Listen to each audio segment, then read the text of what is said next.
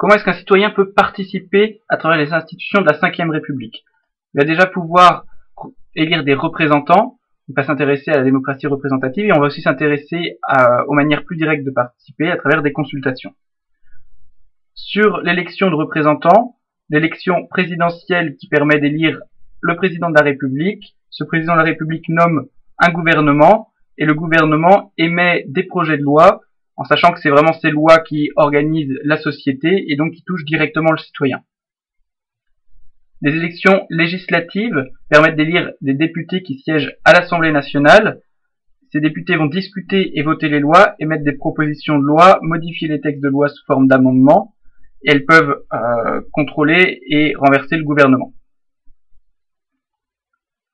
Les élections régionales pour élire les conseillers régionaux, les élections cantonales pour élire les conseillers généraux dans le département, et les élections municipales pour élire le conseil municipal et donc le maire dans la commune. Tous les représentants des collectivités territoriales forment un nouveau corps électoral, les grands électeurs qui votent lors des élections sénatoriales pour les sénateurs, qui euh, représentent la deuxième chambre du Parlement, le Sénat, et ces sénateurs vont pouvoir discuter et voter les lois, émettre des propositions de loi et modifier les textes de loi, eux aussi. Au niveau européen, on a des élections européennes tous les cinq ans pour désigner euh, les euh, représentants des Français au Parlement européen.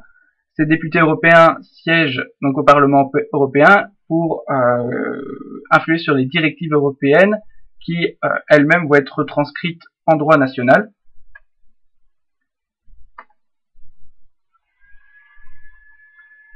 Alors ça c'était pour la démocratie représentative, mais à elle seule, on se demande de plus en plus si elle est suffisante. Il y a de, nombreux problèmes euh, qui peuvent euh, pointer dans cette démocratie représentative, et donc on se demande parfois comment impliquer davantage le citoyen en dehors des élections, notamment avec une participation plus directe et une consultation, c'est-à-dire que la démocratie euh, participative ne vient pas remplacer la démocratie représentative, mais c'est des élus ou une administration qui vont plus souvent aller consulter les citoyens et les citoyens qui vont plus souvent participer euh, à la consultation, à la conception des euh, services publics. Donc, beaucoup de questions autour de cette démocratie participative, notamment l'étendue de la participation. Elle peut être ponctuelle ou en continu, elle peut être très locale ou, au contraire sur un large territoire. Euh, elle peut être dédiée à une partie de la population ou ouverte à tous, avec toutes les questions de légitimité, de représentativité que ça pose, et puis de réussir à faire participer les citoyens qui d'habitude ne participent pas beaucoup, comme les exclus, les jeunes, les défavorisés, mais tout un chacun, les désabusés ou les hyper-pressés qui n'ont pas le temps de, se mettre dans la participation publique. La question aussi de tous les moyens et les outils qu'on peut utiliser et tous les moyens et les outils qu'on peut inventer pour innover sur euh, cette participation et toutes les technologies euh, innovantes qui existent, notamment euh, grâce au numérique, pour concevoir des dispositifs participatifs innovants. Alors si on s'intéresse à ces moyens de consulter plus directement le citoyen, euh, lorsqu'on a voté pour euh, un député, on a un député qui nous représente et euh, donc on peut aller discuter avec lui, on peut lui envoyer un message qui est censé remonter à l'Assemblée nationale. Donc ça c'est la voie classique pour participer de manière plus directe. Après, on a aussi le référendum, qui est une procédure exceptionnelle où euh, le pouvoir exécutif va appeler à se prononcer directement sur un projet de loi ou sur une révision de la Constitution. On vote par oui ou par non. Mais il faut bien voir que c'est euh, le président de la République qui est à l'initiative euh, de ce référendum, contrairement à un référendum d'initiative populaire qui n'existe pas en France, mais qui existe dans certains cantons suisses ou Länder allemands ou États des États-Unis, par exemple, où là, on va pouvoir faire, c'est les citoyens qui vont pouvoir choisir de euh, faire un référendum euh, à partir du moment où ils ont euh, ils un certain nombre à avoir signé une pétition. Ensuite, un ministère peut décider de travailler sur un sujet et de venir faire travailler avec lui des représentants des associations de consommateurs, par exemple des syndicats, des experts. Mais là, encore une fois, c'est pas le citoyen qui a la main là-dessus. Euh, certains ministères peuvent aussi euh, construire des débats nationaux ponctuels, comme par exemple le Grenelle de l'environnement ou le débat sur la dépendance, ou mettre en place des boîtes à idées pour faire participer les citoyens, comme la délégation générale de modernisation de l'État qui a construit un site internet Ensemble Simplifions pour euh, donner des idées pour simplifier l'administration. là, là-dessus, les citoyens peuvent participer, mais c'est encore une fois à l'initiative des ministères de mettre en place ce type de d'initiative. Et puis une petite parenthèse sur le Mind Lab, qui est un atelier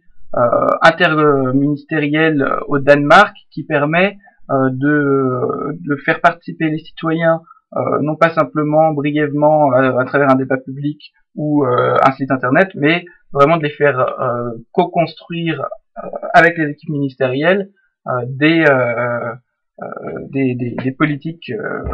gouvernementales. Et donc il y a vraiment des choses très intéressantes à voir de ce côté-là.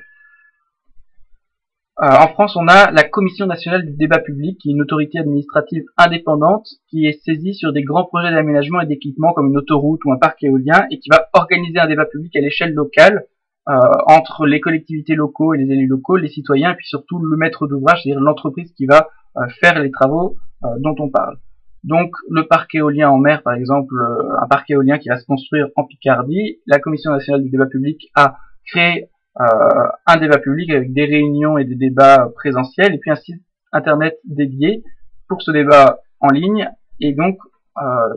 un avis citoyen a été remis au maître d'ouvrage pour qu'il puisse euh, construire et faire ses travaux d'une manière concertée. Ça, c'était pour la Commission nationale du débat public. Maintenant, à une échelle locale, les conseils régionaux, les départements et les mairies peuvent aussi aller chercher euh, des experts, des associations euh, et des représentants des citoyens euh, pour les faire participer directement. Ils peuvent aussi mettre en place des consultations citoyennes sur une thématique, que ce soit hors ligne ou en ligne. Là, on a par exemple un site internet qui a fait le Nord-Pas-de-Calais pour faire participer ses citoyens. On a, je vous parlais du Mind Lab tout à l'heure, là c'est la 27e région qui est le laboratoire d'innovation des 26 autres régions et donc qui permet euh, aux euh, conseils régionaux de euh, d'innover en faisant participer le citoyen dans ces cellules d'innovation sur des thématiques comme l'éducation, comme l'organisation des élus, etc., etc. Au niveau des départements, c'est pareil, ils peuvent faire des, des consultations